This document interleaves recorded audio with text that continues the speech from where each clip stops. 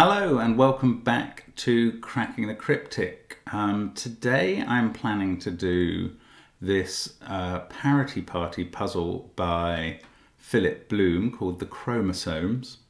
Um, I'll explain the rules in a moment. First of all, um, I realise that those of you who like seeing classic Sudokus solved and the techniques in those um, have been lacking for a few days. Uh, I was about to say that we'll get back to that tomorrow, but I've just heard that Ashish Kumar, who prepared the astonishing series of puzzles that were four odd and four even um, linked Sudokus that we solved over the last four days, has prepared a special puzzle for our Patreons. Um, yeah, actually, we'll put that on, on Patreon. So hopefully we can return to classic Sudoku here. But his special puzzle is another one one-off that can be solved as either odd or even, and uh, looking forward to that. So back to today's puzzle. Now, as I said, this is a concept I think that, that Philipp Blume has developed called parity party. And in this, the numbers outside the grid represent the sum of the digits seen from that point. So if we look at this 23 looking down here, until the first time that parity, which means being odd or even, changes and including that time. So for instance, this 23 could be 6, 8, 9. That's possible. That adds up to 23 and it's even, even, and then the first odd would make it 6, 8, 9. that would be 23. Now the other constraint that he's added in, also not a normal one, is there a number of lines, I think possibly representing um, chromosome strands here that are that add up to 23. The digits along them add up to 23 and each in a unique way. Um, I think the way Philipp expressed that was each of these lines has unique content and I'm going to take that to mean that if one of them is 689 another of them can't be exactly those three digits 689. So those are the two constraints that we're operating on as well as normal Sudoku rules in this puzzle. Obviously, I think the relevance of chromosomes is not just the strings, but that there are 23 paired chromosomes in a human in human DNA. Is that right? I, you can correct me on the science. And all of the clues outside the grid, therefore, are 23. And in the grid, we have 23, 23, 23 and 46, which I suppose represents the pairs um, of chromosomes together in the old double helix arrangement. Um, so apologies if my uh, knowledge of microbiology is a little bit off, but you can correct me in the comments if I've said something wrong there. So let's get cracking and see how we solve um, this chromosomes parity party puzzle. So um, let's start with that notion of 6, 8, 9 adding up to 23. Now this um, strand is, or the line, is all in one box and it's three digits, so that has to be 6, 8 and 9. Pretty sure that that must be right. Now that means that the other two three-digit strands aren't 6, 8 and 9, they must therefore contain a pair. I think they could be 9, 9 and 5, 8, 8 and 7, or 7, 7 and 9. So this one here must be a 7 or 5, because we don't go below 5 in those sets. Um, so this would either be 5, oh well it can't be 8, was it 8, 8 and 5? No. 16, 8, 8 and 7, it can't be that. It could be 9, it can't be 9, 9 and 5, so that must be a 7. So because these ones have to obviously be in the same column and box, so they have to be different but one of them now must be a 7 because we've used the only non-paired one and the other must be a I can't do this maths a 9 7 and 7 and 9 is 23 okay so this is either we've used the double seven pair. We've still got either a double eight pair or a double nine pair for this three cell strand. So that's either eight or nine with another of those up here, but I don't know which way around yet. Now, let's look at the long strand. What is the absolute minimum it could be? Because this is a very long strand. So if we had one, two, and three in that box, that would be six. This could be one, seven, three there, 10, one here, 11, 13, 16. And if we had one, two, and three again, that would be 22 and it adds up to 23. So it's only got one more, um, a digit somewhere along it that is one higher than those minimal possibilities. Now it can't be this one because that can't be two. It can't be this one because that can't be two. So we can fill in the ones there. Actually, that gives us a one down here. Um, and in one of these two boxes, it must be one, two, four and in the other one it must be 1, 2, 3. So whichever way round that is, there must be a 1 in this box. I mean, I think I'm going to fill in 1, 2, 3 and 4 as the only, the only possibilities for these cells. Let's get rid of that 1. Um, that one can't be a 1 either. And that's an interesting observation. Um, I haven't really used the outside parity party clues yet at all. Now this 4 has to add to 23. We've already got 16 in the box, that's 39. The other three cells have to add up to 6. So they're obviously 1, 2 and 3. Um, and these ones on the strand here of 4, 5, 6 and 8. So get rid of a 6 from that. Right, I'm going to probably have to use these outside clues now. Let's start here. Now, as I mentioned, 6, 8, 9 is a possibility. And that could be a possibility here as well. I think that, well, it's clearly the only possibility that can be done in three cells. If we went to four, four cells is definitely possible, but if it was three, yeah, three odds and an even or three evens and an odd, four cells is always possible. Five cells cannot be one of those combinations. It can't be four odd squares and then an even because that would add to an even number, not 23. So none of these 23s are a five cell string. Uh, six is too long, I think. One, two, three, four, five, eight. Yeah, I mean, how would you get five? Well, you can't have five even numbers and the five odd numbers add up to 25, so that's too much. So 6 is too long. 5, oh, 5 doesn't work as, sorry, right, 5 doesn't work as 4 odd and then even, but 5 could work as 4 even, which would be 4, 8, 6 and 2, adding up to 20, and then 3. So it could be that here. This could be a 4, 6, 8 combination, but also it could be an odd combination adding to 21 with the 2 to come to make it up to 23. Now that would be uh, 9, 7 and 5. Yeah, so it's either the maximum odd digits or the maximum even digits. Now here, this has to add up to 23 too. Now it can't be 689 anymore because that would borrow one from each of the possible, at least one from each of the possible strings here.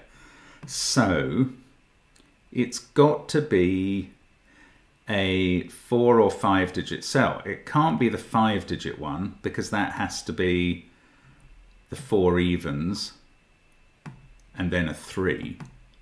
And we couldn't have a three here. So it must be four digits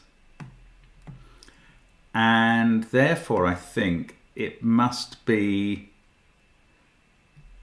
three even digits. No, I don't know that way yet, but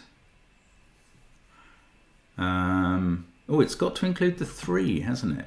Oh, that's good. Okay, so it is three even digits. And then, uh, sorry, three odd digits, and then an even one. So it could be 397 and a 4. No, that's not possible. So this has got to be 6 or 8. This includes a 3. What else does it include? Um, if it's 6, it has to add to 17, 9, 14, so that would be 9 and 5. And if this is the 8, this adds to 15, including a 3.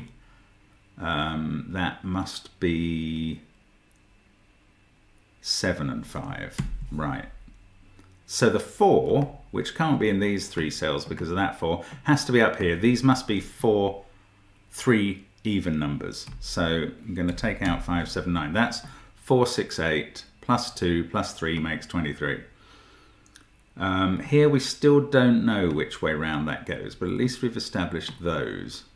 Now that 8 being in that row, that sorts this one out. That has to be a 9. And this must include a 9. We needed a pair on this. 18 and 5, so that's a 9-5 pair there. Um, now, where else can we go for something useful?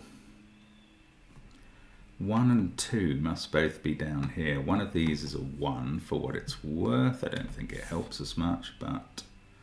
And all of these are 157 as a triple. No, that's not 1, obviously. Um, these include 2 and 1.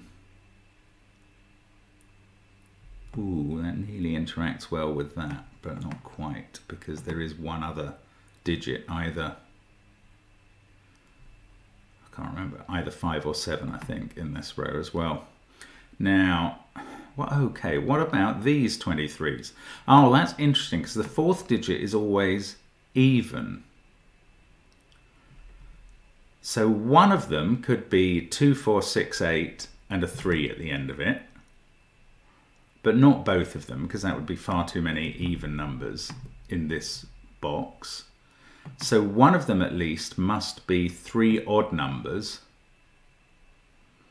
Look, given the numbers that we have on this strand, none of them can be 6, 8, 9. It can't be three digits, just in case you're wondering about that. So one of them is three odd numbers. One of them is three even numbers. Um, whichever the three even numbers is, ends in a 3 down at the bottom.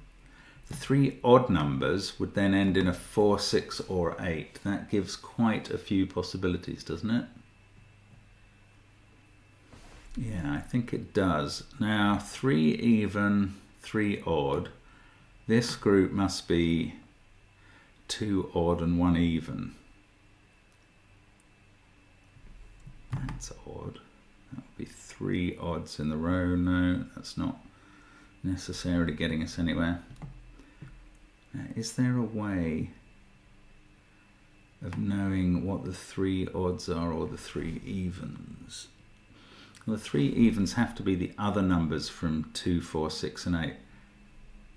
Now down here, this must include, yes, look, this strand has to, which is 4, 5, 6, 8, only has one odd number in it. So one of those must be even, so these four can't be even. That would be too many even numbers in the column. So the four even numbers must be down here. Let's get, so we've got two, four, six, and eight in this stretch, followed by a three to make it up to 23. So that's how that works. Two, four, six, eight, three. This one must be the five these other three must all be even numbers. That's got to be right, yeah.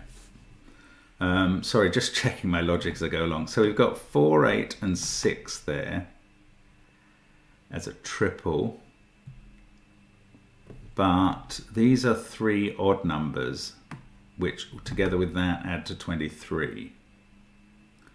Don't know which way round they go yet. Um,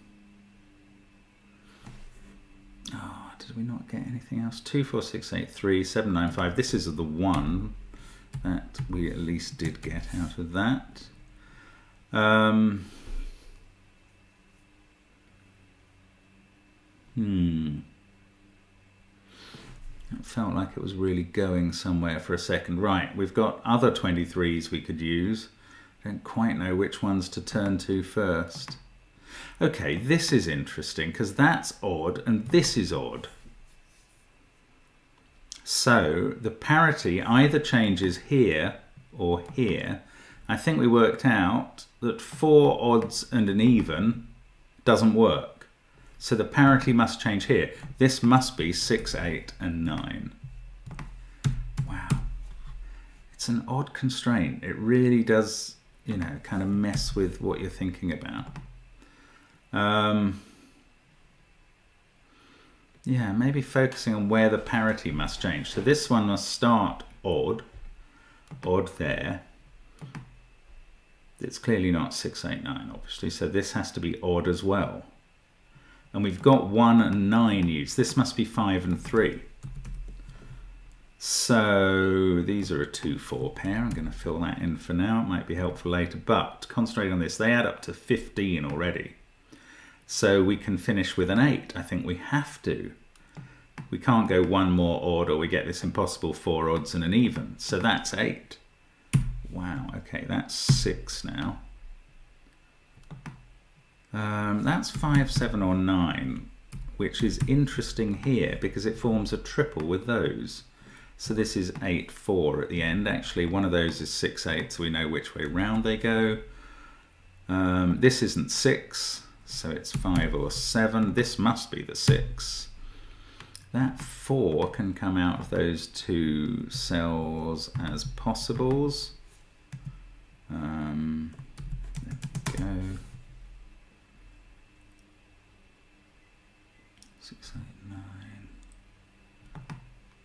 That can't be 5 or 7 because they're already in the same row. So that's 1, 2 or 3. Aha! We've got a one, two, three triple there. I wasn't expecting this. That makes this one the four. This is the one, two, four set. So we can work out which way around they go. This is the one, two, three set. So that's two. This is three. That's one. Suddenly, we've got real traction in the grid. Three is ruled out of those two. It must be down here. In fact, those two are resolved by that one, two, and one. The two, four pairs sorted out suddenly everything's becoming very gettable.